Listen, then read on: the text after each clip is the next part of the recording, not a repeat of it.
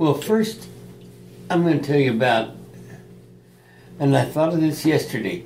Elvira has a sister that is uh, 102 and a brother that's uh, 97. Sister will be 102 in October.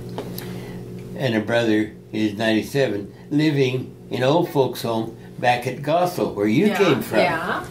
You So- came from- huh? I was born in Goessel, uh huh. Yeah, so we get Dad was over the there, there.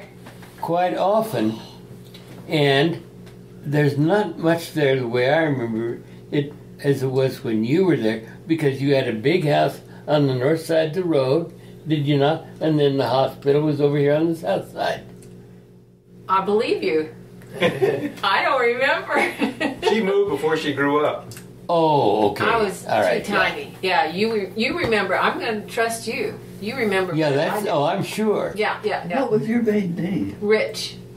R I C H. Yeah, And your dad's name? Eldon. Dr. Eldon Rich. Oh, yeah. So that's Yeah. why, yeah, see, that I connect every time we go to visit.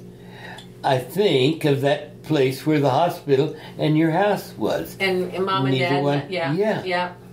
Because the uh, old fo- folks' home, where where uh, we go to visit her, her her relatives are just right beside it.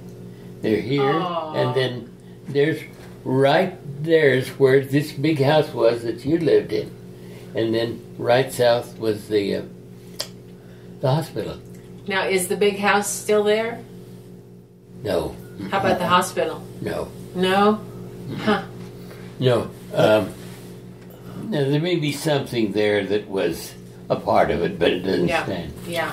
And then south, well, you wouldn't have gone to the to the uh, little country school. It was just on the edge of town. Yeah, probably Bob and Barbara were going Yeah. there. Mm-hmm. Because Bob is seven years older than me. No, Mhm. Barbara's seven and Bob is nine. Nine Yeah. years old. Yeah.